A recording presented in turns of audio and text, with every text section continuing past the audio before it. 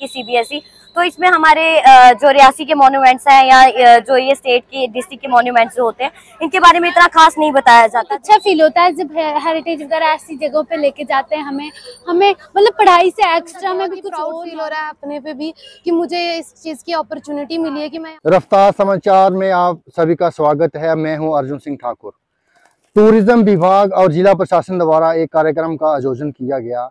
जिसमें डीसी बबीला रकवाल द्वारा हरी झंडी दिखाकर लगभग 60 के करीब बच्चों को हेरिटेज बाग के लिए लाया गया था और जमगढ़ फोर्ट से इसकी जो नागुरेशन की की उद्घाटन किया गया और कटरा रूट की तरफ़ जो भी धार्मिक स्थल आएँगे, उन बच्चों को वहाँ पे घुमाया जाएगा, उनकी आस्था के बारे में बताया जाएगा। स्कूली बच्चों से जो हमने बात की है देखें इस रिपोर्ट में।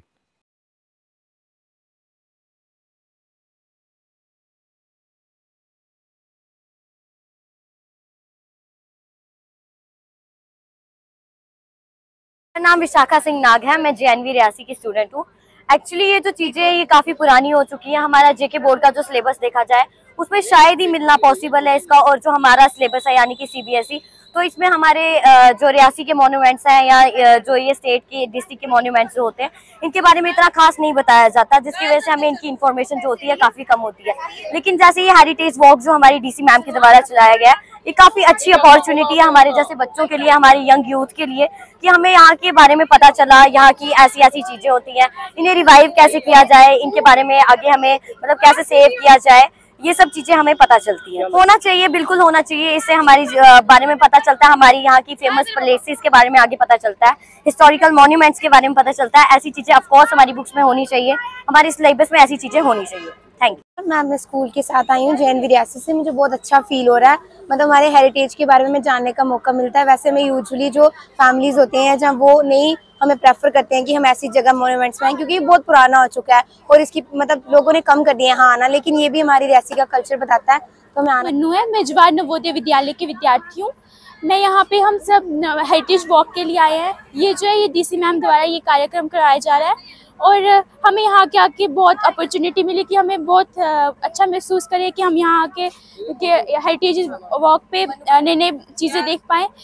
जैसे कि हमारा भीमपुर फोर्ट है, अब हम यहाँ से होके आए हैं। हमारे साथ डीसी मैम भी थे। अभी हम डेरा बब्बर की तरफ़ जाने वाले हैं। और थैंक यू सो मेरा नाम राशिका है। इलेवंथ बी से जैन रियासी से अ, बहुत अच्छा फील होता है जब हेरिटेज वगैरह ऐसी जगहों पे लेके जाते हैं हमें। हमें मतलब पढ़ाई से एक्स्ट्रा में भी कुछ और नॉलेज मिलती है अपने आसपास की। और ये हमें इनको क्यों प्रोटेक्ट करना चाहिए साफ़ रखना चाहिए इसका भी हमें पता चलता है। हमारे जो डीसी मैम है उन्होंने भी हमें काफ़ी अवेयर किया इस बारे में कि हमें हेरिटेज प्लेसेस में क्यों विज़िट करना चाहिए और उन्हें साफ़ रखना चाहिए। आई रिकमेंड के आप को अपनी जो हेरिटेज है उससे प्यार होना चाहिए। ताकि आपके जो देश के प्रति आपकी एक, जो श्रद्धा है, वो जो है और ग्रूव हो सके। इसमें अप्रॉक्सीमेटली फिफ्टी नाम कृतिका है। हम जेएनवी से आए हैं और हम यहाँ पर भीमगढ़ फोर्ट में आए हैं हेरिटेज वॉक के लिए आए हैं और अब हम डेरा बाबा जा रहे हैं। ये डीसी मैम के तहत करवाया जा रहा है। इसमें हमें ये बताया जाएगा कि हमारे जो हेरिटेज वॉक वॉक में ये बताया जाएगा कि जो हमारी प्लेसेस हैं, जो पुरानी जगहें हैं, उनकी कितनी इम्पोर्टेंस है।